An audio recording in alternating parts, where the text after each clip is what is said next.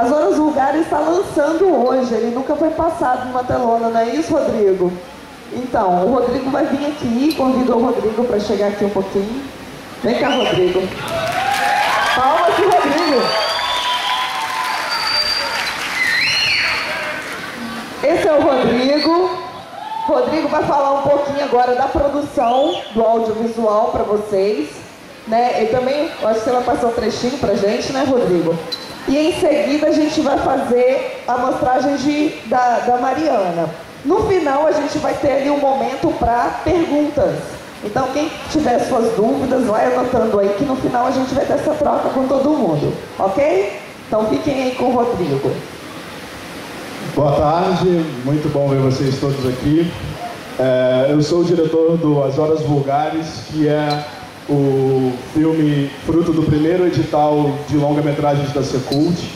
É, o Espírito Santo não tinha um, um filme de longa-metragem financiado pelo governo há 16 anos e ano passado a gente conseguiu filmar esse, esse projeto graças a esse, esse edital. É, o, filme tá, o filme vai ficar pronto na semana que vem é, e até por causa enfim, do espaço que a gente tinha aqui, não dá para passar o filme inteiro, mas como eu queria mostrar para vocês, pra, até para a gente poder conversar sobre como é que é fazer um longa-metragem no Espírito Santo. Queria mostrar para vocês uma coisa um pouquinho mais, com mais substância. É, vocês vão ver agora os primeiros oito minutos do filme. Ninguém no Espírito Santo nunca viu essas imagens, então vocês são as primeiras pessoas que estão assistindo. E, e aí, enfim, depois a gente conversa sobre como é que foi fazer esse filme, sobre como é que se faz, como é que se faz esse vídeo de cinema no Espírito Santo é, para explicar um pouco o que vocês vão assistir. É, o filme é um filme de duas horas, enfim, um filme de tema adulto, mas eu acho que vocês vão super entender. É, esse filme ele é o comecinho que apresenta os três personagens principais do filme. Vocês vão ver quem eles são. É, vai ficar com gostinho de quero mais, porque a gente não vai conseguir ver o, o filme inteiro. Mas esses primeiros oito minutos eu acho que podem dar bastante coisa para a gente conversar depois. E aí vocês, enfim, é, é, depois possam fazer perguntas e tentar a gente conversar um pouco mais sobre que história é essa de se filmar filme de longa-metragem no Espírito Santo. É, eu espero que vocês gostem desse, desse aperitivo e que depois a gente possa conversar legal sobre, sobre isso aqui e sobre todas as outras coisas. É, bom trechinho aí para vocês, até daqui a pouco.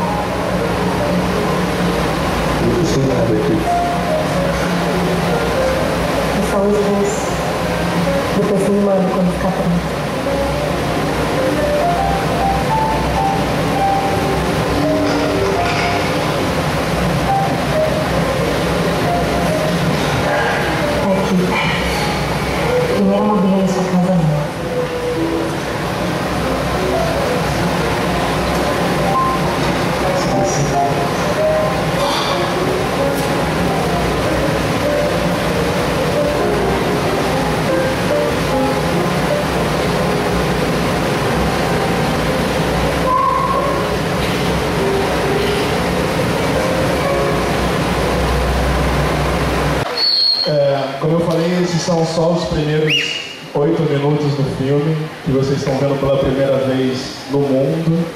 É, vocês reagiram muito melhor aos seios do que eu imaginava. Parabéns. É, bem, vou falar primeiro rapidamente daquele, dessa historinha. Né? Vocês viram que são três personagens principais.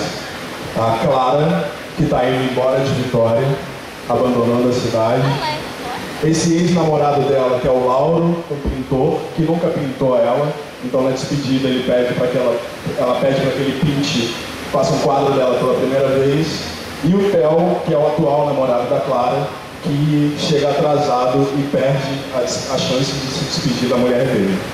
O filme, depois que vai continuar ainda por uma hora e cinquenta depois disso, conta a história de um reencontro dos dois personagens masculinos, o Lauro e o Theo, eles ficam, depois desse dia, eles ficam um ano sem se encontrar e aí finalmente se encontram na noite de Vitória, e aí o filme conta a história dessa noite inteira, é, desde esse reencontro e tudo que eles passam juntos, revisitando os amigos e revisitando as memórias e bebendo, dançando, ouvindo música, até que amanhã chega e um desses dois personagens não vai sobreviver a essa manhã.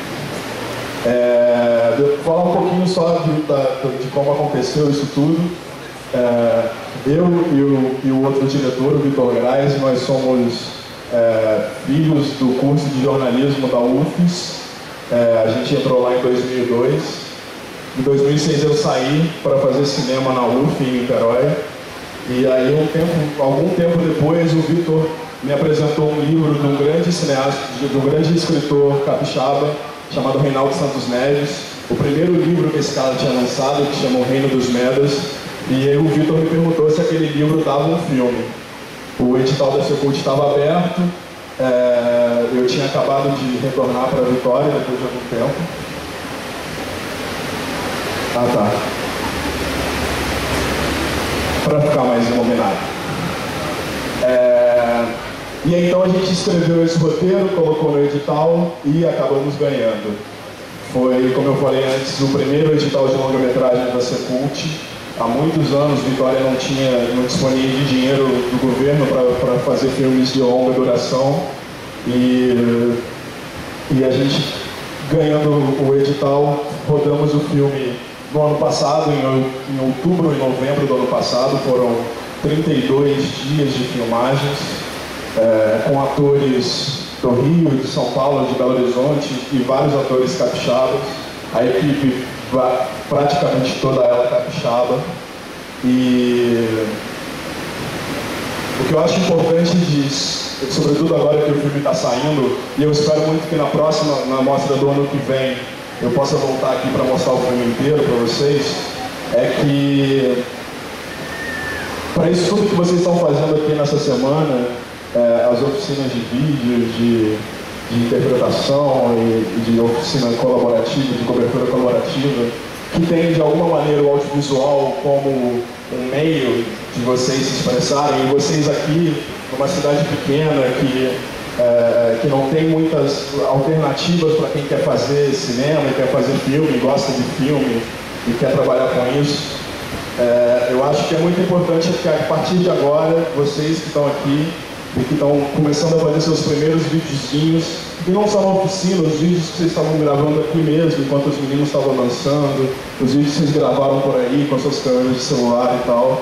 É, eu acho que é importante vocês saberem que se vocês quiserem apostar nisso, se gravar imagens em movimento não for só um impulso e for um desejo mesmo de expressão, de arte, é, que eventualmente quando vocês começarem a estudar e, e a se profissionalizar, que tem ali no, no, horizonte a possibilidade de vocês fazerem um filme de longa-metragem que vai passar no cinema do Brasil inteiro, que vai passar em festivais do mundo inteiro.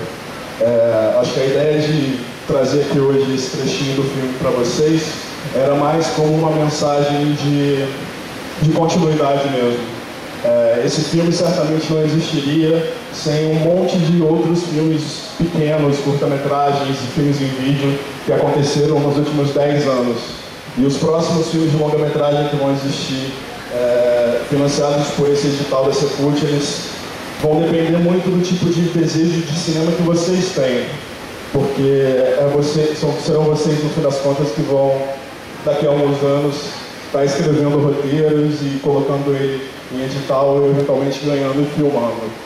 É, eu espero que vocês é, aproveitem então essa oportunidade que estão tendo essa semana, não só para é, é, se divertir com, com, com esse namoro que existe entre a gente e as imagens em movimento, mas que quem quiser e quem achar que isso é forte o bastante para virar uma carreira, uma profissão, que hoje no Espírito Santo é possível que vocês sonhem com isso de verdade. Não precisa mais, como eu fiz, por exemplo, sair daqui para poder fazer cinema. Continuando aqui, começando nessas oficinas, eventualmente vocês podem chegar a fazer o filme de vocês. É, a razão de ser dessa mostra acontecer e desse filme, ela é muito parecida.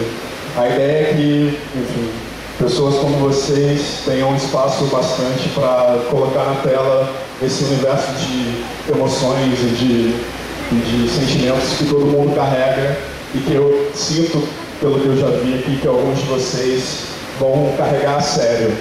É, então invistam nisso, porque fazer cinema é difícil a beça, você fica endividado, eventualmente você tem que vender seu carro, enfim, para pagar as contas. Mas depois que o filme está pronto, enquanto eu estava ali, enquanto vocês assistiam esse pedacinho do filme, eu estava assistindo vocês assistirem o filme e essa sensação é impagável. É, então não tem carro que, que faça isso valer a pena. É, eu acho que, enfim, a gente toca agora e depois, se vocês quiserem fazer outras perguntas, aí a gente conversa depois. Foi um prazer passar esse pedacinho para vocês. Espero que vocês tenham gostado. Viu? Obrigado.